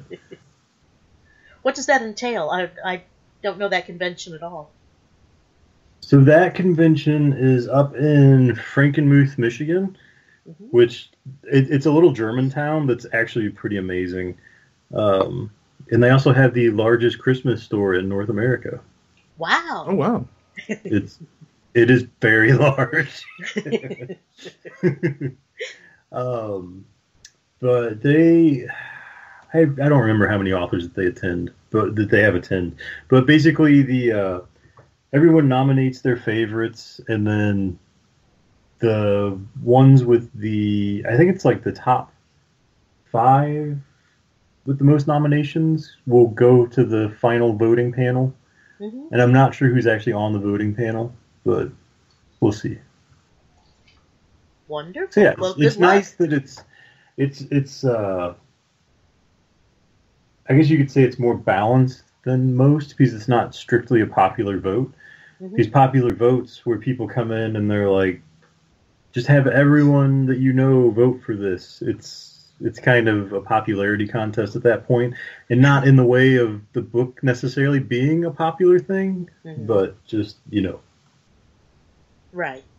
Popularity contest with the authors themselves. yeah. yeah. hmm The dread. Yeah, but uh, I actually know the uh, the organizer of that one, uh, Stacey Rourke, which she has some very good books. If you're not familiar with Stacey, I am not. But so yeah, her uh, she likes to rewrite um, or do spin-offs of old legends. So she did like Sleepy Hollow. Ooh, She did uh, a Raven spin-off from Poe. Uh, there's neat stuff, very neat stuff. Cool. Have- Definitely Very have to look into that one too. I believe Crane is the first one in that trilogy. Definitely well worth the read. By Ichabod. Mm-hmm. Cool. Yep. Mhm. Yep, exactly. Now, I haven't read the Steamborn trilogy yet. Uh, would you like to tell us more about that one? So Steamborn is a young adult fantasy. It's uh, it has a dystopian spin to it, and it also has steampunk elements. So all of these things made it really hard to decide how to market it. I'll bet, yes. so I've it's been out for like a year, and I'm just now finally starting to find some marketing legs on it. Um, but it's it's it's a lot of fun. It's if you're familiar with like uh, Hayao, Hayao Miyazaki's films, um, it's very much in kind of that that whimsical feeling, and it's just an adventure with younger kids in situations that are much more dire than someone their age should have to deal with, Mhm. and uh, it's the kind of story that I really enjoyed reading when I was a kid. Nice. That works. Very cool. And uh, my my friend Mari Mancusi actually read it, and she she calls it a uh, steampunk Starship Troopers, which I, I love that kind of tagline. It's very cool. it's very catching, yes. wow. yeah, but it's uh, it's definitely one of my favorite things, and I do want to get back to that series and write more books in it. But the uh, the first three do form a complete trilogy.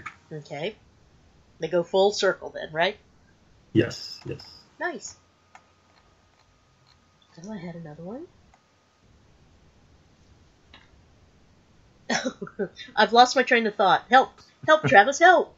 Oh, sure. Help, Travis. Now. Smack. You've only No. been working for 15 hours now, Travis. Just- I know. Six, 16 and a half now. Um, he's young, he's fine. he's full of something. Um, how long have you been writing, Eric? Uh, that's a hard thing to answer. Um, I've written It's off. really not. Incorporate math. It's not that hard. we're over. We're over ten, so it gets Uh, hard. okay. Okay. Understood. Understood. Uh, I guess I really started writing. uh, You could say seriously. I really decided I wanted to write novels in uh, 2005. Uh, Okay. And I wrote. I spent two two and a half years writing a really really terrible space opera. Uh, but it was a great it was a great learning experience.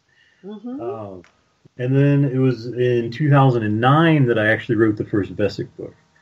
Uh, Okay. That went through several iterations I learned about editing, and I actually ended up hiring an editor a few years later, so that when I published in 2013, I actually had three books written already before I released the first one, which actually worked out really well because it kind of kept a consistent release pattern um, up until I was ready to put the fourth one out.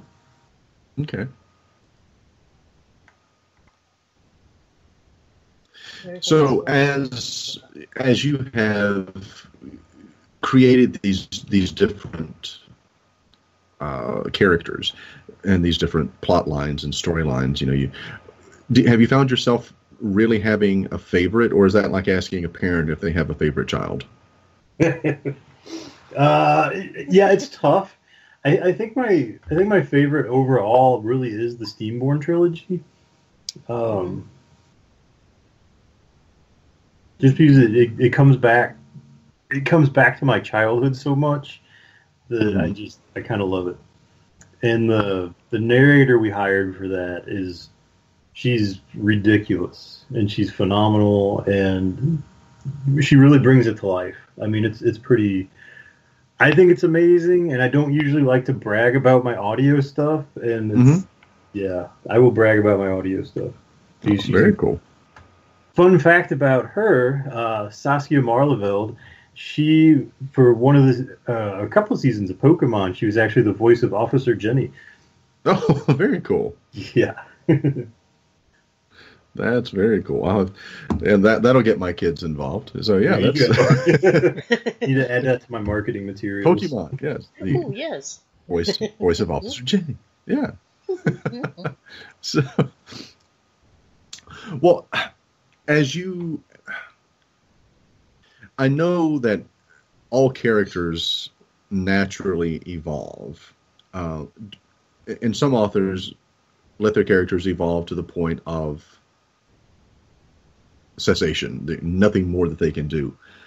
We, you know, have to stop this particular character and fo- do you see that happening with any of your characters or do you see them be, continuing f- indefinitely right now There's uh like I have ideas on how some of the series could end, but I also have ideas for many, many more stories. okay Um so yeah, it's a hard call.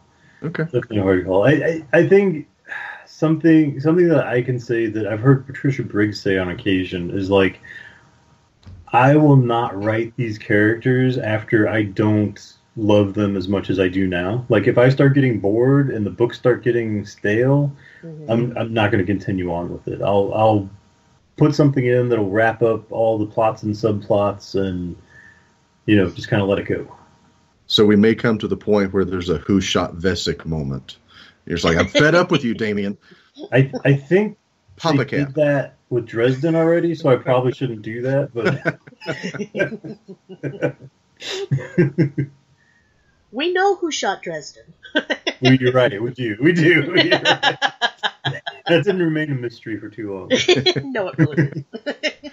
Oh, that's well. You know, it's funny because I, um, my daughter and I, like I said, you know, we were talking, and she's creating these characters, and she's a huge Sherlock fan. I got her into you know the, the BBC Sherlock, and so now she's a Cumberbitch, like all of his followers are, uh, and she's just you know enamored with him. And So, but I got her into reading the actual home stories, and you know of course there's that you know the whole Reichenbach fall incident and she's like why did why did Doyle kill him in the first place. And I said well I said Doyle killed him because he got tired of being known only for one thing. He got tired of being known only as the creator of Sherlock Holmes and Holmes overshadowed him and he just wanted to be rid of him. And she's like do authors get to the point where they get like that? I'm like Eventually, I said you ha- yeah. I said you have to understand there had never been a, a, a fictional character created that really had that type of following before. it, it it took you know it was kind of the beginning of fandom. Uh, you know, people Mhm. were Yeah. scurrying around wanting the next installment and wanting to know and and what what was this and and what was going to happen and I said it really probably one of the first fictional characters to take on a life of its own. So, do you and, and I used to use this analogy when I worked with with small businesses uh, because I had been a small business owner and, and starting an ad agency and a PR firm and working and building it from the ground up and working those you know 20 21 hour days and seven days a week. And I you know you the, the way that I liken it is, is to Victor Frankenstein. You know he wanted to create this creature. He created this creature and then this creature tried to kill him it, it really set out to to destroy Victor Frankenstein. And many times that's what happens when you are creating a small business. And I think many times authors start that process the same way. They they they're wanting to breathe life into something. Have you found, you know, you said you started writing around 2005, so that's that's what, 12 years? So you've got, you know, a little over you know, a little, you know, a little over a decade in writing and creating these characters. Have has there come that time when you know you're like, my God, Vesik's trying to kill me. He's trying to sniff snuff me out. There, I can happily say that no, that has not happened. And I don't know if it might be because I kind of write at my own pace. I don't try to, uh, I don't try to do too much at once and hurry out releases. I kind of write when I want to write, so it it rarely actually feels like work. Um, Very good. Yeah. But yeah, yeah, I'm I'm happy to say that that really hasn't happened. Now I will say that the editing process, if I have a sloppy draft that goes into editing, by the time you get done with the fourth or fifth draft on a book, it you you can occasionally want to throw it out the window. but it's not necessarily that you want to kill the characters; you just want to throw the book out the window. yeah, exactly. So, Oh. um, no, go ahead. I didn't mean to interrupt, Wendy. I'm sorry. Oh no, I was just thinking. So when might we expect book number seven to come out? Book number seven. I have been. Oh man, I've had too much bourbon. I almost sh- shot a spoiler out there. Um, Or another So I- one, bartender. You're right. Um, so I have been sketching out ideas for what I want Book Seven to be, Mhm. and uh, I've actually been going back and forth with my developmental editor, and I think we've got some really good ideas of where it's going to go and what the story's going to be. Which means I don't necessarily have an outline, but I have enough key scenes that I know what I want it to be. So I'll probably start writing that pretty shortly which would probably make for a don't hold me to it, but probably a release around August-ish. Oh, nice. Okay. That's Yeah, not bad so- at all. Yeah. Not too. I thought, well, this time next year we might be seeing it, but don't hold me to that. No, no, because like last year, you know, I had I had a year in between Destroyer Rising and Rattle of Bones. Ah, okay. that, that was because I wrote too much uh, the previous year. I wrote five full length novels that year, Holy cow. and on top of a day job, it just I just burned out. Mhm. Um, so I had to get away from it for a while. and then, of course, I have friends, um, namely, I'm thinking of Carrie Ann Ryan, who cranks out a full length novel every 30 days. Wow. I mean, she's she is a machine, hmm and uh, I I want to say she just released her 50th novel. Holy crap! yes, sir, that is correct. yeah, she's pretty amazing. Well, that's good. Uh, I guess. Yeah, yeah, for sure. And I mean, it's not like she's putting junk out either. I mean, it's good stuff. good deal. She's I know that, she is uh, a she's a publishing machine. She, now she is a she is a hardcore plotter though. Like she swears by plotting, which I'm more of a pantser. Like I have a vague idea of where I want it to go, and then I just want to let the story unfold. Which admittedly can be harder to edit at times. But but I love it. It's how I love to write. So no plans on changing anytime soon. Um, Eric, can you see the chat room at all? uh do I just go to that link? Um, I think so. I'll tell you in a second. Oh, okay. Well, I, I can read it. There's a, a Christopher. I'm gonna put. I'm gonna say it's Piper. Um, P. Uh, anyway, Uh. he's saying this is a good show. Thanks, Eric. was that was that uh, Chris Hall? Oh, uh, it's a P E. Looks like I F F E R. Oh, the other Chris Pfeiffer. Oh, oh, him. Hello, other Chris. yeah, I, I've got a. I, I posted the link to my uh, launch team, and uh, two of the, the there's two guys named Chris on my launch team. Uh, Christopher Pfeiffer. Mhm. I'm sorry if I pronounced your last name wrong, Chris, but Yeah, I said it Chris- first, so it's my fault. Yeah, I was just following Wendy. It's totally Yeah. her fault. Yep, all my fault. again. but then again, I am a Schindler, so I am used to people not pronouncing things correctly. Well, you were saying he's the other Christopher. I'm going. I ran into that this weekend. I went to dinner at a restaurant um, there in the, in the town where I work, and it, it, first time I'd actually had dinner there. I've gone in for appetizers and drinks, but actually went in. and I actually know the owner, and I told one of the the servers. I said, "Be be sure and tell Rick and Jason, it's father and son owners." Uh, I said that that Travis is here. And I said, hi. And so she comes back out and she's like, are you redhead Travis or radio Travis? And I'm like, well, I sure ain't a ginger. I can tell you that. I'm a, I'm a pretty much black headed. So yeah. Mhm. Uh, no, it's radio Travis. That's that's the one that's saying hi. That's awesome. Okay, I had I had another thought here. I know, look out, run for your lives. Um, Ah!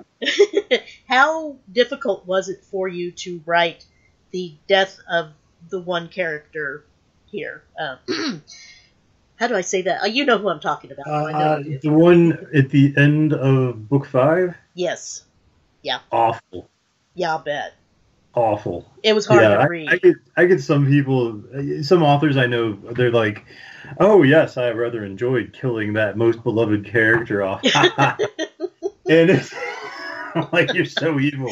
you Yeah, no, dastardly that was that dastard. was yeah. that was um, but I, I must admit there is like uh, there's a little uh, tingle of I did that right when I get really horrible messages from people like how could you do that? And uh, yeah. I, I was speechless for a little bit. I, I had to stop writing and you know clear the tears and go, no effing way. yeah. Yeah that was awful. But uh had to be done, Yeah. right? whoever hasn't read book five yet you've got good stuff to look forward to That's right, you do. Have a Uh, hanky close. Well, that's Brutal, quite brutal. Yeah, it was. Uh, you know, I, I got really, I got really good feedback on that though, so that was that was good. You know, my most, the thing I get the most controversial, I won't say controversial messages, but the thing, the thing that seems to be most controversial to people is the exploding pigeons from book one. I love That those. that's too. That's too funny. so, so It's really gross, but you're laughing the whole time. You're kind of gagging I know. too. I know. I was like, but it's a necromancer. He probably doesn't feel bad. you know, what can you do? Well, it was a rumor that that's what happened when you fed them that uh, that you know rice and stuff. So- I know. I don't know if people like forgot th- about that rumor, but it really was. It was an exaggeration of that. Absolutely, I, Man, I can was appreciate kid, that. I remember that. When, when I was a kid and we would be at weddings, it was always about throwing rice. And then as we got a little bit older, people were like, "Oh no, if you throw rice, those pigeons will explode." They'll and it became like this. It, it would hurt the birds. It could kill the birds, but they would not actually explode. Right. Um, but it became like this urban legend that like you fed rice to pigeons, they will explode. And I think people either aren't aware of that old story or it just maybe they're too young to get. I don't know. But yeah, it definitely it definitely missed the mark for some folks. But I it still cracks me up. I must yeah. admit. Yep, it was a good one. I, I I had a panel with uh, Larissa Ione once, and we we all had to talk about our most controversial scenes. so that that came up, and I was like, "I'm sorry, Larissa," because Larissa's a huge animal lover, and uh, she's like, "As long as you don't kill the dog, I'm fine." Yep. Like, Yep. never, never kill a dog. You can. Then you're good in our book. Yeah. Ugh.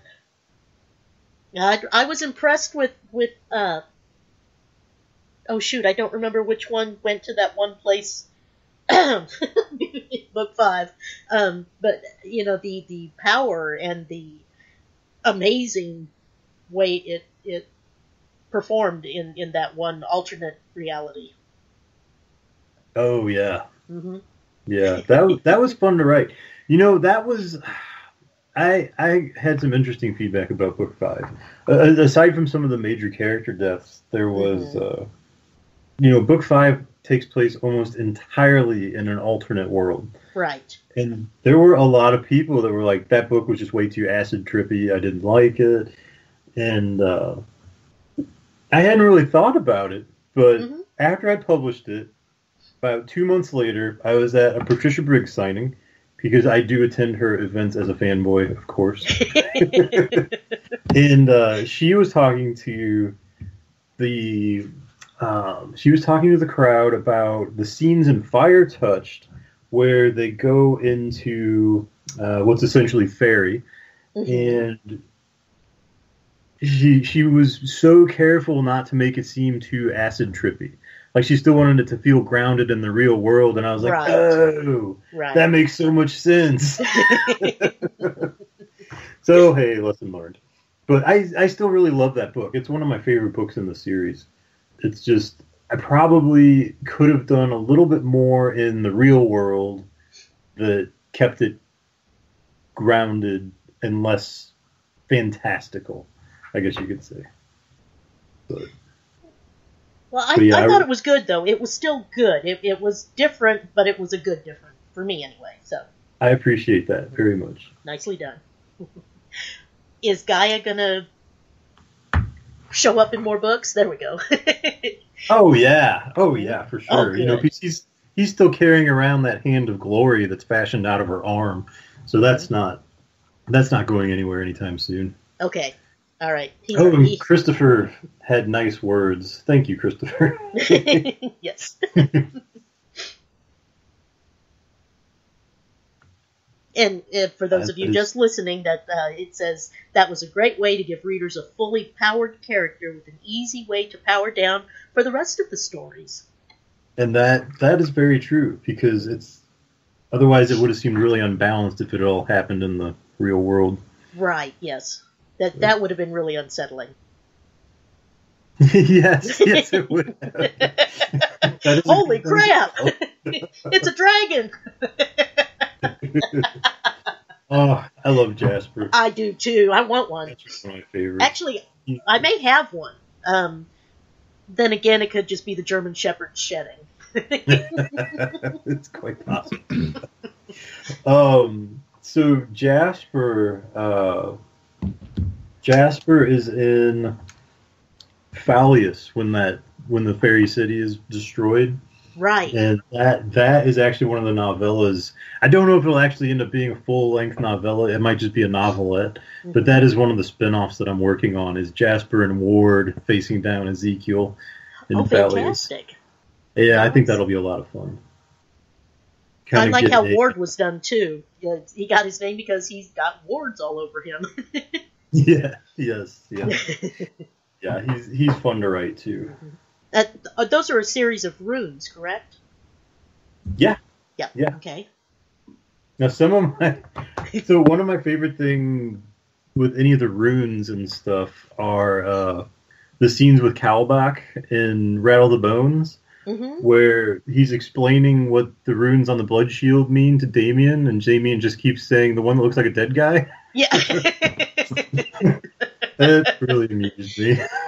Simplification. Keep it. Keep it simple. yeah. I was amused by that.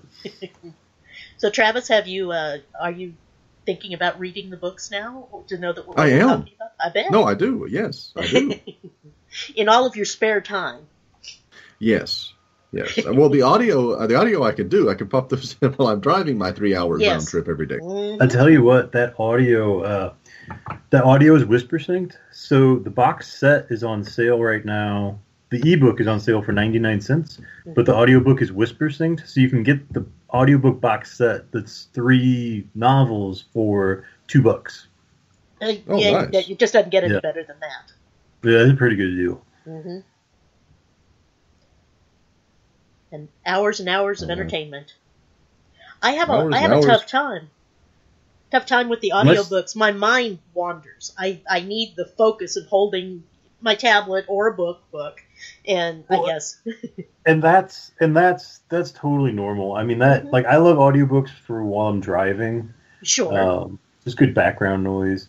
Mhm. Um, but you know, some people listen better, or they learn better, or absorb things better by reading, and some people are more auditory. So it just Mhm. kind of depends on where you fall. uh, in the middle. I um, hands-on reading and um, and hearing. So we, we basically just need a, a movie then. Yeah. Yeah, Yeah, exactly. That I exactly, can read along with. subtitles. A movie with subtitles. I like it. I like it. Oh my goodness. Oh So, darn it. Uh, odd, odd question, but what? Because you know, creative people have this very, very interesting way of creating their own atmosphere when they're writing and things like that. Yeah. What does your desk look like? Where you write, what does your writing space look like? May not be your desk. You may, you know, hell, you may sit at a coffee table and look out on, you know, on whatever the hell you look out on St. Louis. But you know, the arches. You look out at the arch. You know, what, what, what, what does your writing space look like? My writing space is I, I have an office um, upstairs, and it is full of comics and Transformers and various collectibles. Very not like a serene space at all, kind of chaotic. And uh, my desk, though, which is like the best part, has a statue of Brain from Pinky and the Brain, and there's some Michael Whelan art on the wall and uh, some Matt Wagner art, and then there's just a bunch of clutter. The perfect and I also have a giant warble that sits next to me. A, a giant what? A warble? A war? Oh, okay, okay. It's like a big giant stuffed. thing. Yes, yes. but he's he's actually like the size of a beanbag chair. Oh my gosh. giant. That's huge. Yeah, definitely It's huge, huge. it's a huge warble. And if you Google warble, be sure you do not misspell it. Because there's a horrible animal disease that's called warble that is not warable. It is. So be sure you Google warable. Don't spell it wrong. You will not be able to unsee that. Oh God. Oh dear Yeah. God, yes. Which one? Uh, e- either. Take your pick. I'm easy. or better, just go to squishable.com and then search for warble. That's safe. That's Should safe. you? Do you have to make sure you spell squishable right, or does that bring up a whole different kind That's of a thing? fair point. I don't know for Ooh, sure, yeah, but that's a yeah. fair point. I don't even want to go there. Uh, well, I, Thanks, Travis. Now I've got a visual.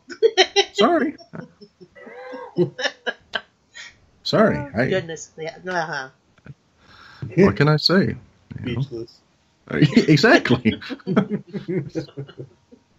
Oh, All right. it's. It, so I, I have one other question for you, real quickly, Eric. What? How, how do you occupy your spare time when you're not writing? What I mean, besides reading and gaming, and and and and you know, fanboying out on Patricia uh, Briggs. you know what? what? You're kind of whittling my life down. here. Oh, sorry about that. Besides, What happens when you? What happens when you thrust yourself into the and- yeah. limelight? When you, yeah, when you thrust yourself into the limelight, this is what happens. Mhm. You get whittled. Right. You can you can Google that, but you also have to be careful on the spelling. I'm sure. Um, so I I play a little bit of music. I, I play the cello, which I've kind of grown up playing, Mhm. and uh, I play the guitar a little bit, and I occasionally make squawking sounds through an ocarina, Okay. much to the. Is that, a, much is that an Ozark folk music instrument? An ocarina? Mhm. Yeah, I don't know. I don't I don't know. I uh, I admittedly got into it after the Ocarina of Time, Legend of Zelda. So Okay. Okay. is that judgment I hear in your voice? No. No, it's just me going, I have no idea. I never watched that. Oh, oh, fair enough. Fair enough. yeah. Um, No judgment, just something I, I don't know anything about. no, that's fair. That's fair. Yeah, I uh, I collect comics. I collect a few books here and there, and I read the books too. Oh, good. So you don't just you don't just collect them. Yes, yes. I also occasionally read them. He collects books and he collects the knowledge gleaned from the books. So this is unlike some unlike some people who have shelves and shelves of books and absolutely no knowledge or common sense whatsoever. we also occasionally go out to eat at restaurants. No way. Ah, It's Catfish a glorious kettle. life. It's it's uh, yeah. Shut the fr- shut the front door.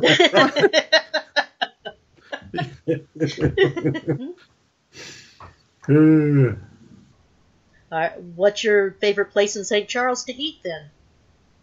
favorite place in St. Charles to eat? Ooh. Or is there a place in St. Charles anymore? Oh, there's all kinds of places in St. Charles to eat.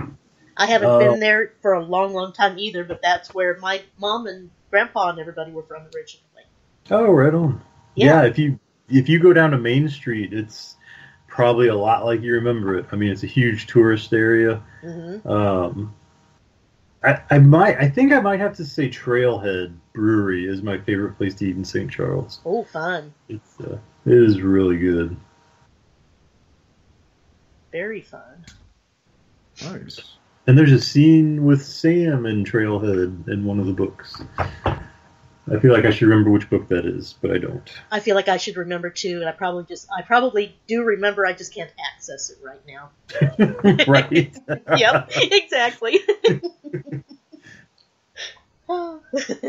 um, now there was a one last book that I believe it was between five and six. Was it Rumors of War?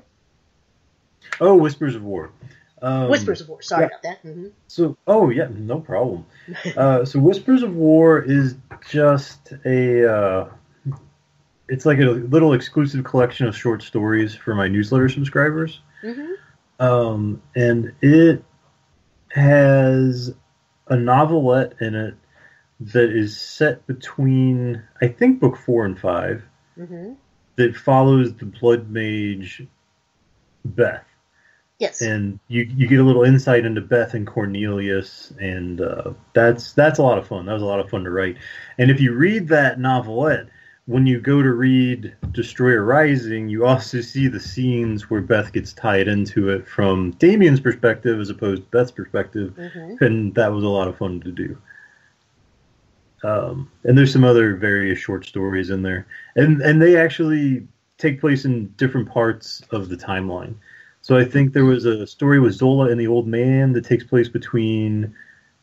I don't remember if it's between Wolves and Winter's Demon or if it's between Days Gone Bad and Wolves. I think it's That's yeah, terrible. Days Gone Bad and Wo- Wolves. I believe.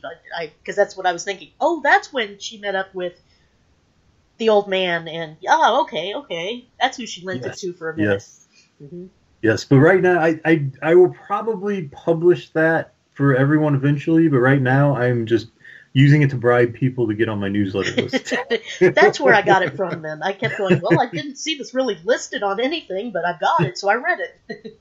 yes. and they're cute little stories, and then you know the the other, still kind of cute, but uh, more in depth. yes. Yes. Mhm. The Christmas one, I, I like that one. Yeah, I like that one too. Yeah, I think I'm gonna do a I'm gonna do a Mason Dixon Christmas one. It's gonna be a bit longer. That should be fun too. Wonderful. I Very need to get on your ARC list. Yes, you should definitely. I'm gonna I'm probably gonna send invites out for that again in the uh, fairly near future ish sometime. If you remember, and uh, the moon Well, I- rises at that one angle. Uh, Yeah, thankfully I have an assistant who's like the best thing in history, and she's been really good about keeping up with things. that's good. Yes. Sometimes I think about being one, and other times I think about needing one. So. Hmm. hmm Yeah, it's true. Yep, keep me in mind, somebody, please. And it's not going to be Travis. That's just mean. That's just mean. Your your personality, where it just isn't there. No. I mean, okay, you, Oh, wait a minute. No, I mean it's not it's not uh, mean enough to keep me in line. How's that? I knew I said that wrong. That was a good recovery. Yeah. Thanks. hey Travis, cheers, man. Cheers, Wendy. oh, that was good. That was good. Well, um, would you like to tell everyone how to get a hold of you? Uh, if when it should be when everybody goes and reads your books now. Are you are you trying to get me to give you my address again? Because that we we've been over that already. I was trying. Damn it. That's All all right, right. so, That's all right. uh, probably I, I've way- already traced the uh, the signal back from Skype, Oh, so I, I know right where you live. Yeah. That's not good. Travis, we're gonna have to talk about this. Uh, well, Hey, yeah, but it, seriously. it was nice. It was a nice try with routing it through four different countries and then back into the states. This VPN was supposed to be bulletproof, but uh, the uh, yeah, probably the easiest way to get a hold of me is just my Facebook page, which Mhm. is just facebook.com/slash Eric R Asher. Mhm. Uh, or of course my website. You can get to www.ericrasher or pretty much any social media platform. If you just put slash Eric R Asher, you'll find me on there. hmm Very good. Except Snapchat. I'm not on Snapchat for some reason. That's okay. I'm not either. And I can't Yeah, figure well- out. I can't figure out Instagram. It says I have to download an app, but I'm on my like big computer and I'm logged into my account. What's up with that?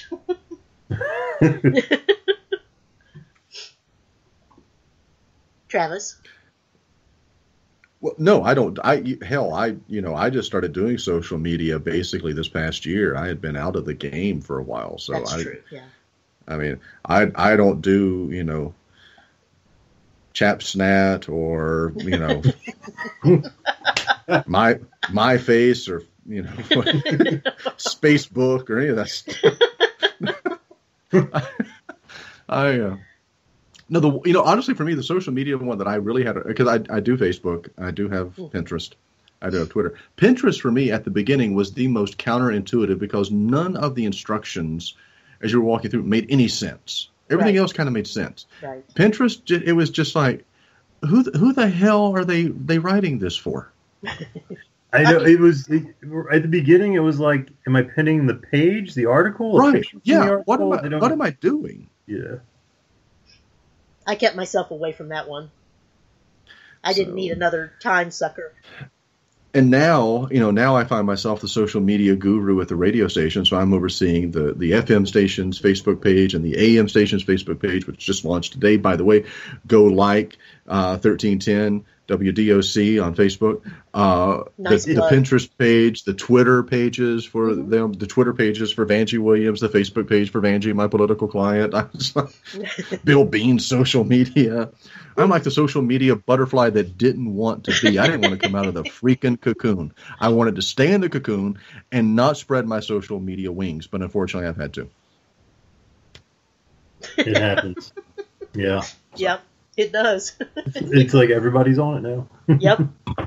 Got to do it. Well, the fun part is though you do connect with old friends, you know, from high school that maybe moved That's across the country, and um, made many good friends that way too, or was reconnected with them.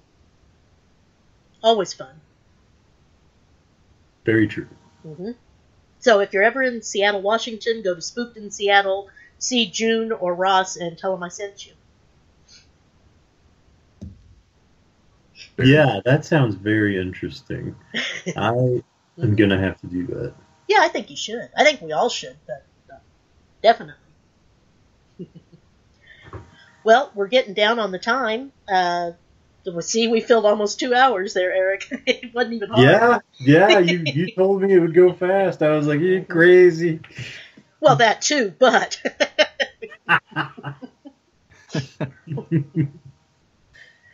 anyway, um, uh, so what's in the future? More more books, more fun. Definitely more books. Uh, I have enough subplots and whatnot that are going on in the Vesik books right now to keep that going for at least a few more books. Mhm. And uh, I'm sure as we go, more ideas will pop up. Um, so no plans to end that series right now. Very good. And then uh, Mason Dixon, of course, we'll we'll see how that does as it comes out. I'm very excited about that. Like anything where I can bring a lot of focus to Missouri, uh, I really enjoy doing that. Mhm. Uh, it's it's an often overlooked area.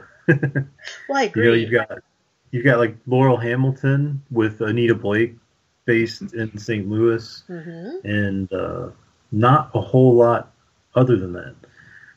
Um, but then Steamborn, the Steamborn series, I definitely want to get back to eventually too. That's one of those things. That's uh, that's definitely a passion project. hmm So I, I definitely want to get back to that at some point. Uh, And then of course I have a million and one other novel ideas. I just have to decide which ones I actually want to write. always the always the question there. Do yeah, I I, have I time? think uh, I think I'm probably going to do like a 1980s style horror novel. Um, that should be a lot of fun, and then maybe a 1990s style space opera. Yes. uh, that that should be a lot of fun. I I um, I can't wait to see what that entails. Well, if you remember uh, movies like some of the classics, like The Last Starfighter and stuff like that. Oh yeah, definitely. hmm Yeah. So along in that in that vein, but kind of set in the 90s, I think it'd be it would be interesting. I don't know why Buffy the Vampire Slayer and that one musical they did it keeps popping into my head though. So Yes, it won't literally be an opera. It'll Okay, just be the. that's good. What you need, what you need to do is get with Mel Brooks so we can finally have Spaceballs Part Two. oh, there you go. I, I would be up for that. Yeah, that's what you need to do. I was surprised he's still kicking. I know, but I'm glad he is. He's one Me of my too. Me too. one of my one of my all time favorite directors and and writers of comedy. I just mm-hmm. I'm I'm a huge Mel Brooks fan. Oh yeah. Well, anyway, um, I don't have much else for. I don't have any more questions or thoughts or Eric. Anything else you wanted to share with us? ah, I think we covered it pretty Uh, much. yeah. Uh, Kind of what I was thinking. yeah. Travis. Yes, Wendy.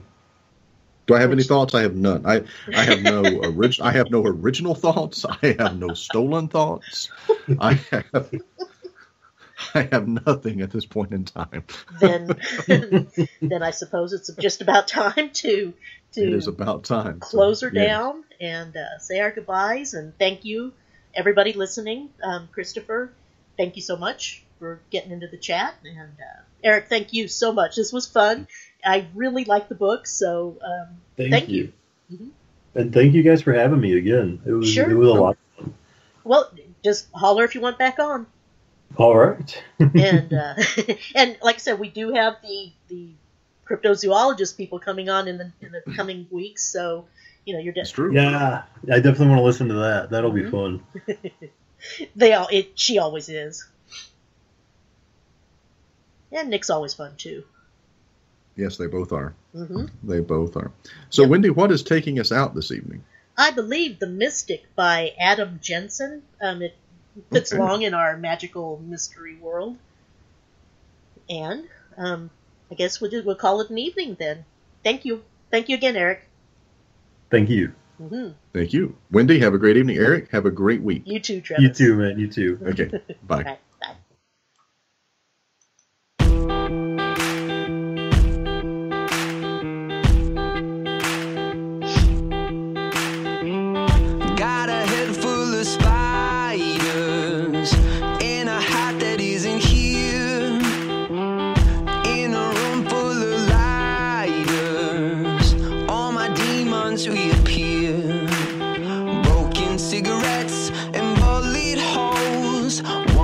to the chase.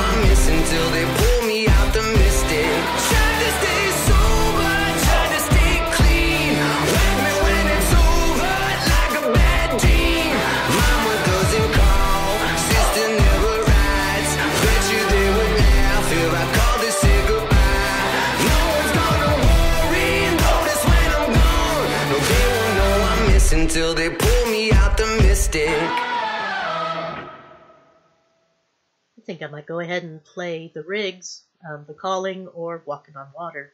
That's gonna. I heard it on the trailer for that Midnight Midnight Crossings Texas or Midnight Texas that uh, will be out in July. I'll play that one real quick and then we'll call it an evening. Thank you.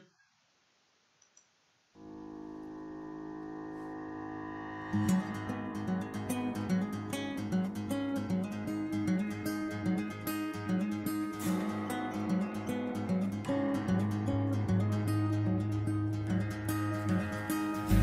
see the clouds that're rolling in.